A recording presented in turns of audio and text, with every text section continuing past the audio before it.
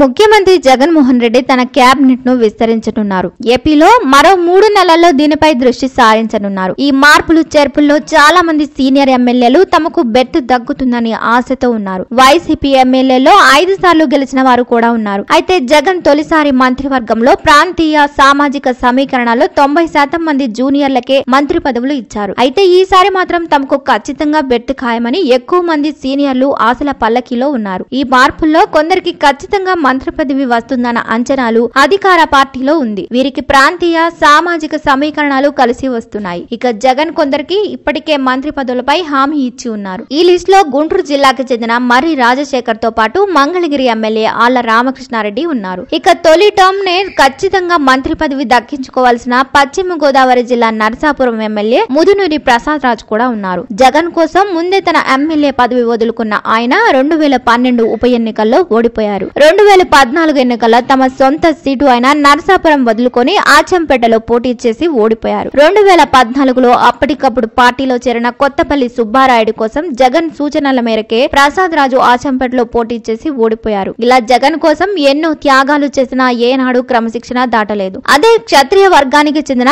MP రఘురామ్ను కట్టడి చేసే విషయంలోనూ రంగనాథ్ సక్సెస్ కాలేదన్న అభిప్రాయం జగన్కు ఉంది. ఏదేమైనా తనను నమ్ముకున్న ప్రసాద్ రాజ్కు ఈసారి బెర్త్ ఖాయం చేసినట్లు తెలుస్తుంది. ఇప్పటికే వైసీపీ ఉన్నత స్థాయి సమావేశాలు నేతలతో కూడా ప్రసాద్ రాజ్కు హింట్ వెళ్ళినట్టు తెలుస్తుంది. అయితే రఘురాం విషయంలో క్షత్రియుల్లో వైసీపీ జగన్ పై వ్యతిరేకత పెరుగుతోందన్న అంచనాలు ఉన్నాయి. దీనికి బ్రేక్ వేసేలా జగన్ ఏదైనా సంచలన నిర్ణయం తీసుకుంటారా అన్న సందేహాలు కూడా ఉన్నాయి. అయితే కేబినెట్ పునరుద్ధరణ తర్వాత కొంతమంది నాయకులు అసంతృప్తులకు గురయ్యే అవకాశం లేకపోలేదు. ఇక ఇదిలా ఉంటే వైఎస్ జగన్మోహన్ రెడ్డి కేబినెట్ విస్తరణ ఎప్పుడనే అంశం కన్నా ఈసారి ఛాన్సులు ఎవరికి దక్కుతాయనే అనేది అత్యంత ఆసక్తిదాయకంగా మారింది. జగన్ ప్రభుత్వం ఏర్పడి రెండు సంవత్సరాలు గడిచిపోయాయి. జగన్ పెట్టిన గడువు ప్రకారం ఆరు నెలల్లో మంత్రివర్గ పునర్వసీకరణ జరగాల్సి ఉంది. కాస్త అటు ఇటుగా అయినా అది జరగొచ్చు. ఈ నేపథ్యంలో ఆశావాహుల జాబితా పెద్దదే. అయితే నేతల పనితీరును ప్రజలు గమనిస్తూ ఉంటారు. ఈ పనితీరు ఆధారంగా ఎవరికి ఛాన్సులు ఉండవచ్చనే అంశంపై సహజంగానే చర్చ జరుగుతూ ఉంటుంది. కొన్ని ప్రాపబుల్ పేర్లు కూడా వినిపిస్తూ ఉంటాయి. ఆ పేర్లలో ఇప్పుడు అనంతపురం జిల్లా ధర్మవరం ఎమ్మెల్యే కేతిరెడ్డి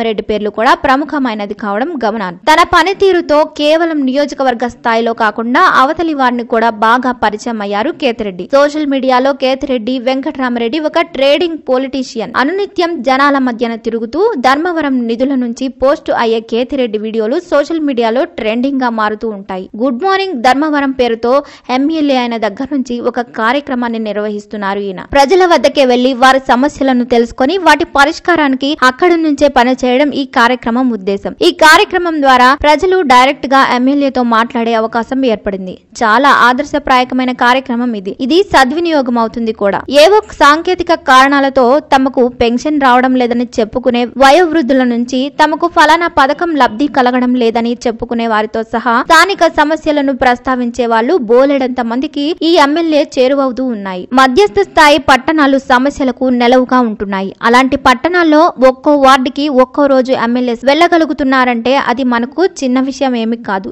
చాలా మంది ఎమ్మెల్యేలు ఇలాంటి సమస్యలకు మొహం చాటేస్తూ ఉంటారు. కానీ కేతిరెడ్డి తీరు భిన్నంగా ఉంది. ఇదే ఆయన ఇమేజ్ను పెంచుతూ ఉంది. గుడ్ మార్నింగ్ ధర్మవరం వీడియోలు ఫేస్బుక్లో వైరల్ అవుతూ ఉంటాయి. కొన్ని యూట్యూబ్ ఛానళ్ళకు కూడా కేతిరెడ్డి వీడియోలు ఆయనతో ప్రజల సంభాషణలు జరిపే వీడియోలు వరప్రదంగా మారిపోయాయి. పెయిడ్ పోస్టులు కూడా వాస్తవ వీడియోలతో ప్రజలతో ఆయన సంభాషించే వీడియోలతో కేతిరెడ్డి పేరును మారుమోగుతూ ఉంది. ఇక అనుచర వర్గానికి అండగా ఉండడంతో కూడా కేతిరెడ్డికి మంచి పేరు ఉంది. అడ్డగోలుగా దోచుకొమ్మని రకం కాదు. జన్మభూమి కమిటీలు అధికార పార్టీల గ్రూపులు చింతే లేదు. ఇలాంటి నేపథ్యంలో కేతిరెడ్డిది మెరుగైన ట్రాక్ రికార్డ్ అవుతుంది. ఇప్పుడు జిల్లాలో కేతిరెడ్డికి సీనియర్ల నుంచి కూడా అంత పోటీ లేనట్టే. అనంతపురం ఎమ్మెల్యే అనంత వెంకట్రామరెడ్డి మాత్రమే జిల్లా రాజకీయాల్లో మోస్ట్ సీనియర్గా ఉన్నారు. కాపు రామచంద్రారెడ్డి ఉన్న మంత్రివర్గం వైపు ఆయన ఆసక్తులు ఉండవు. ఇక మిగతా వారంతా తొలిసారి గెలిచిన వారే. కేతిరెడ్డి వెంకట్రామరెడ్డి రెండోసారి ఎమ్మెల్యే. ఇరవై ఏళ్ళ నుంచి ధర్మవరం రాజకీయాల్లో గట్టిగా పనిచేస్తూ ఉన్నారు. మరి నేపథ్యం అంతా వైఎస్ రాజశేఖర రెడ్డి సన్నిహితుడిగా పేర్గాంచిన కేతిరెడ్డి సూర్య ప్రతాప్ రెడ్డి తనయుడిని జగన్ క్యాబినెట్లో సభ్యుడిగా చేస్తుందేమో.